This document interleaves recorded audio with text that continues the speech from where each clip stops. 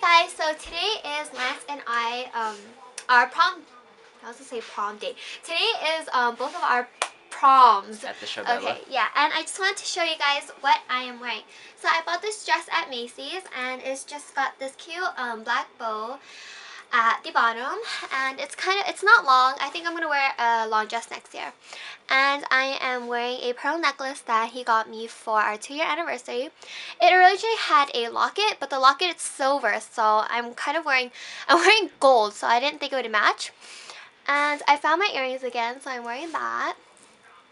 And yeah I wanted to show you guys the the boutonniere and the corsage that we got I just think they're really, really pretty. And so, yeah, I'm going to put this on Lance for you guys.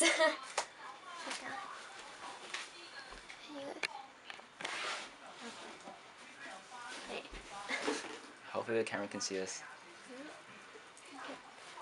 Ah! Ah! Wait, this thing is... Okay. I don't even know how you're supposed to... Go on YouTube.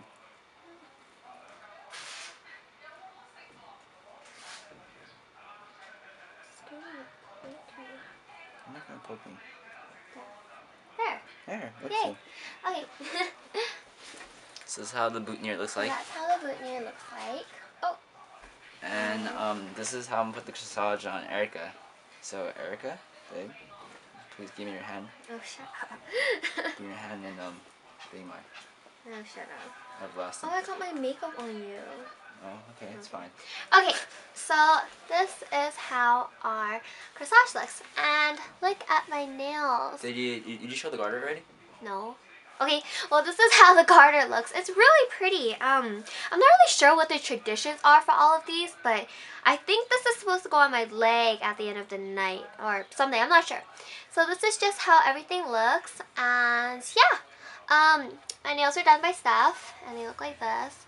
There's a bow on the thumb and a bow on Show- the, show closer, show the closer. ring finger. It doesn't get close. It, it gets hella blurry if I put it. If I put it here, they see better. Alright, okay, and we are in a rush, so I'll see you guys later. Thanks for watching.